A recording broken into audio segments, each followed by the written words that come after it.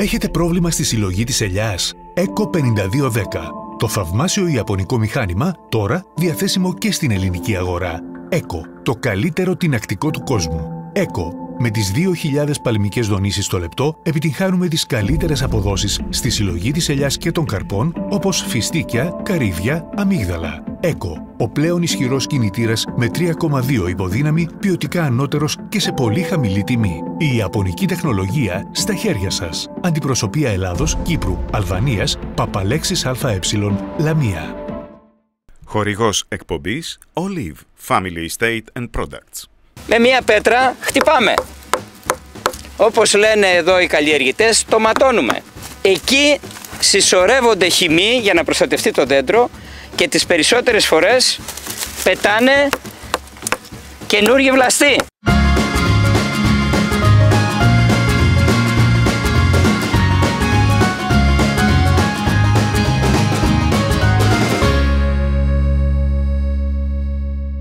Είμαστε με το Γιάννη το Χασάπη από το Ήπιος. Ένας μικροκαλλιεργητής, δεν έχεις πολλά δέντρα. Όχι. Όμως δουλεύεις στα χωράφια από μικρό παιδί.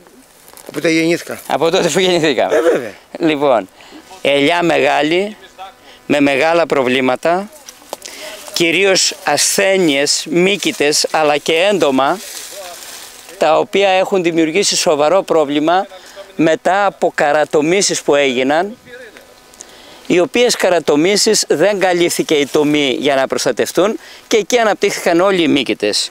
Το δέντρο όπως βλέπετε έχει κάνει πάρα πολλούς γόγκρους και έχει και πάρα πολλά ξερά. Είναι αδύνατο, εξασθενημένο, φαίνεται ότι δεν τρέχουν οι χυμοί του κανονικά, έχει πολλά ξερά κλαδιά, έχει αλλάξει το χρώμα του, η καινούρια βλάστησή του είναι μειωμένη, έχει λοιπόν σοβαρά προβλήματα ανάπτυξης. Εκτός από αυτό, το δέντρο βλέπετε ότι ξεκινάει. Πάνω από τρία, μπορεί και παραπάνω μέτρα τις διακλαδώσεις του. Και είναι πάρα πολύ δύσκολο στον καλλιεργητή να την ε, περιποιηθεί, να την μαζέψει, να την κλαδέψει κλπ. Αυτό το δέντρο, ας ρώτησε εδώ ο καλλιεργητής, τι μπορούμε να κάνουμε; Καταρχήν πρέπει να φτιάξουμε αντικαταστάτες, δηλαδή χαμηλά κλαδάκια σε ήμερο μέρος του δέντρου για να πετάξουν καινούργιοι βλαστοί, τους οποίους θα, τους, θα ενισχύσουμε το δέντρο και θα τους μεγαλώσουμε και θα επιλέξουμε κάποιους από αυτούς ούτως ώστε να γίνουν χαμηλά οι διακλαδώσεις και να γίνει νέα καρατόμηση με νέα προστασία και καθάρισμα του δέντρου και του κορμού. Για να φτιάξουμε λοιπόν τέτοιου είδους μικρές, μικρά βλαστάρια πάνω στους γόγκρους που φαίνονται ότι είναι ζωντανοί με μία πέτρα χτυπάμε. Όπως λένε εδώ οι καλλιεργητές, το ματώνουμε. Ματώνοντας λοιπόν το δέντρο στους γόγκρους, εκεί συσσωρεύονται χυμοί για να προστατευτεί το δέντρο και τις περισσότερες φορές πετάνε καινούργιοι βλαστοί. Αυτό το κάνουμε για να φτιαχτούν αντικαταστάτες καινούρια, καινούργιοι κλόνοι χαμηλά και να κοπεί το δέντρο και να πετάξει από χαμηλά. Να πάμε να το δούμε λίγο πιο εδώ. Εδώ βλέπουμε πάλι το δέντρο με λέμαργους. Όποιος λέμαργος από αυτούς εδώ είναι ήμερος θα τον κρατήσουμε σαν αντικαταστάτη. Ακόμα και κορμού ή διακλάδωσης τρίτης διακλάδωσης. Ταυτόχρονα θα χτυπήσουμε. Αν ματώνει, αν είναι φρέσκο, θα πετάξει. Όπως βλέπετε. Ή εδώ, που είναι πολύ πιο πιθανό να πετάξει. Μια, ένας άλλος τρόπος για να πετάξει κάνουμε μικρές τομές έως 2 εκατοστά με ένα πριόνι. Κάνοντας λοιπόν αυτές τις τομές μέχρι 2 εκατοστά, προκαλούμε σε εκείνο το σημείο συσσόρευση χυμών και δημιουργία νέου ματιού και χτυπάει καινούριο βλαστάρι. Το βλαστάρι αυτό μπορούμε να το αξιοποιήσουμε να γίνει αντικαταστάτης κλώνων ε, και κλαδιών. Το τρίτο πράγμα που θέλω να πούμε είναι αφού πετάξει μπορούμε να πάμε όπως είναι αυτά τα κλαδάκια να πάμε ακριβώς από πάνω και να κάνουμε το χαράκομα, να περιορίσουμε τους χυμούς να φεύγει προς τα πάνω, για να μπορέσει να μεγαλώσει με μεγαλύτερη ταχύτητα αυτό το βλαστάρι. Βέβαια αυτό προϋποθέτει να ταΐσουμε το δέντρο και να μην έχει ελλείψεις θρεπτικών συστατικών, ιδιαίτερα τα θρεπτικά συστατικά που περιορίζουν την κορυφή δεν πρέπει να λείπουν. Όπως είναι το βόρειο, όπως είναι ο ψευδάργυρος, όπως είναι το ασβέστιο, όπως είναι ο σίδηρος, δεν πρέπει να λείπουν. Έτσι λοιπόν καλύπτουμε το έδαφος με θρεπτικά συστατικά, τα οποία θρεπτικά συστατικά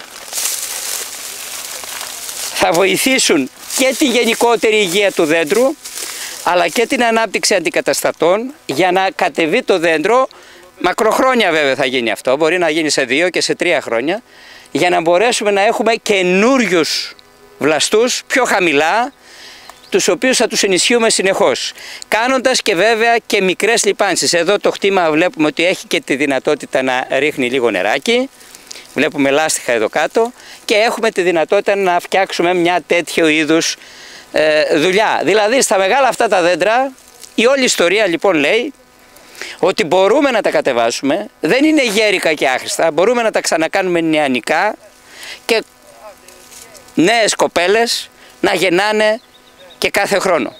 Αυτό το δέντρο βέβαια υποφέρει και από πολλές τροφοπαινίες όπως βλέπετε ειδικά έχει ξερά αλλά έχει και προσβολή από κυκλοκόνιο τα ξερά κλαδιά που μπορούμε να δούμε ψηλά, μας το δείχνουν αυτό. Και βέβαια αυτό το δέντρο είναι πολύ δύσκολο, με πάρα πολλή εργασία, για να το μαζέψεις, για να το... και είναι και στο σύνορο όπως βλέπετε, ακόμα πιο δύσκολο στις εργασίες του. Άρα λοιπόν αυτά τα δέντρα πρέπει να κατεβούν όσο το δυνατό γρηγορότερα, να φτιαχτούν αντικαταστάτες όπως είπαμε, ακόμα και σε αυτό το ύψος, για να μπορέσει το δέντρο αυτό να δώσει καινούρια νεανική κόμη, καινούρια ανάπτυξη, βοηθώντας πάντοτε τον τρόπο κλαδέματος, αυτό με αυτή τα βήματα που σας εξηγήσαμε, σε, σε συνδυασμό με, τα, ε, με τις λιπάνσεις, να μην υπάρχουν ελλείψεις θρεπτικών συστατικών και ίσως και κάποιες επεμβάσεις ε, για φυτοπροστασία Δηλαδή, αλήψεις με βορδιγάλιο πολτό μπορούν να περιορίσουν αρκετά τις αναπτύξεις των ασθενειών, να καθαριστεί το δέντρο και να αναπτυχθεί γρήγορα. Θέλει μια δουλειά, δηλαδή λίγο πιο μακροχρόνια και επίμονη σε τέτοιου είδους αφημένα δέντρα, δεκαετίες ολόκληρες που δεν μας δίνουν παραγωγή και είναι προβληματικά ακριβώς λόγω του ότι ένα μεγάλο τμήμα του δέντρου υποφέρει από τις ασθένειες αυτές και πρέπει να φτιάξουμε καινούρια νεανικά ε, ε, καινούριους νεανικούς βλαστούς. Θέλω να μου πεις λίγο τη γνώμη σου για αυτό το χωράφι και τι σκέφτεσαι να κάνεις. Αυτό το χωράφι πρέπει να το ποτίσω προς το παρόν. Έχει δυνατότητα να ποτιστεί το χωράφι Έχει. αυτό. Έχει. Έχει νερό; Έχει, Έχει νερό; Έχει αυτό μέσα. Ωραία. Έχει Ναι. νερό μέσα. Μπορώ να το ποτίσω. Ωραία. Αλλά θα πάρω πάνω τον γελιές. Βεβαίως. Είπαμε ότι έχει ένα ζάρωμα, έχει μία. όχι υπερβολικό να κάνει σταφίδιασμα που λέμε. Ναι, ναι. Έχει τη δυνατότητα, έχει ένα μεγάλο μέρος του καρπού, το οποίο μπορεί να πάρει, αν φάει ένα νερό Δύο. μέσα σε 15 με 20 μέρες, Και αύριο θα μπορώ να αρχίσει, άμα μπορείς, Μπορώ, κάντο. Αύριο. Σε 15-20 μέρες θα, βάλει θα, λάδι. Θα βάλει λάδι. Ωραία. Προς το παρόν δεν έχει λάδι. Πας για κλάδεμα φέτος; Εξαρτάται. Εξαρτάται. Ε, αυτό έχει προ τέσσερα χρόνια κλαδιστεί. Πρέπει, θέλει πολλά διορθώματα γιατί έχει προσβολή από κυκλοκόνιο Γιάννη Ναι. και έχει πολλά ξερά και θα πρέπει να φτιάξουμε καινούρια. Λίπανση κάνεις; Όχι. Δεν θα κάνεις καθόλου ούτε σκέφτεσαι. Λόγω του ότι είναι ακριβά τα λιπάσματα; Φυσικά. Αυτή είναι η βασική Τα αιτία. Ανεβήκαν. Τα διπλά. Τα Και διπλά. τα τριδιπλά. Λοιπόν, κατά τη γνώμη μου, μπορείς να κάνεις μια έξυπνη λίπανση, Γιάννη. Ναι. Χωρίς πολλά λεφτά. Δηλαδή να βάλεις ένα όριο, θα πεις θα ρίξω στο δέντρο 1,5 ευρώ. Μάλιστα. Δηλαδή, να ρίξεις μισό κιλό λάδι στο δέντρο, Ναι. να του γυρίσεις πίσω, για να του δώσεις λίγο καινούρια βλάστηση. Να μπορέσει να σταθεί το δέντρο και στις. Ε, δεν χρειάζεται, αν τα οικονομικά μας περιορίζουν, να ξεχάσουμε και το φαΐ στα δέντρα. Γιατί έχεις τη δυνατότητα με το νερό να ταΐζεις πρακτικά το δέντρο σχεδόν όλο το χρόνο. Μάλιστα. Έτσι, γιατί το νερό είναι μέσον ταΐσματος. Ναι, ναι. Το χειμώνα θα βρέχει και την άνοιξη να- ίσως όπως, όσο μπορεί και τις υπόλοιπες φορές μια φορά περίπου το μήνα να τους ρίχνεις λίγο νερό για να κρατήσεις τα δέντρα σου σε παραγωγική Δηλαδή πότε, κατάσταση. τον Αύγουστο και μετά; Όχι και πιο νωρίς. Και πιο νωρίς. Και πιο νωρίς. Ακόμα και πε- την περίοδο πριν την ανθοφορία, φέτος είχαμε ανομβρία από το Μάρτι. Ναι. Θα πρέπει 20 μέρες, ένα μήνα πριν την ανθοφορία, αν δεν έχει επαρκεία υγρασία στο χωράφι, Ναι. θα πρέπει να του ρίξεις και τότε νερό. Και τότε, ναι. Και σίγουρα μέσα στον Ιούνιο, αρχές Ιουνίου, δηλαδή 10-15 μέρες μετά την Έχει, δεν έχει δου- δουλειές. ανθοφορία, θα πρέπει να το ρίξεις νερό. Πρέπει να το ετοιμάσουμε το δέντρο και για την Για το- επόμενη για χρονιά. Το ερχόμενο. Έτσι. Άρα λοιπόν θέλει Πρέπει- λίγο βοήθεια και λίγο φαγητό. Μπορεί να βρεις τη δυνατότητα στα καλά δέντρα και στα δέντρα που έχουν δυνατότητες και δεν είναι οι κουφάλες έντονες, Γιάννη να τους επιλέξεις κάποια δέντρα να τα ταΐσεις λίγο. Να τα δώσεις λίγο δύναμη παραπάνω. Θα σε βοηθήσει πολύ να τα βάλεις σε παραγωγική διαδικασία εφόσον έχεις τη δυνατότητα και το νερό. Άκουσα, από την αρχή, κάθε μέρα την ποτίζω, κάθε μέρα την ποτίζω. Κάθε μέρα; Κάθε μέρα. Τι είναι, πρόβατο είναι; Έλα πρόβατο, να βάζω το πίνει τα, τα πρόβατα και τρώω πίνει και τα δέντρα.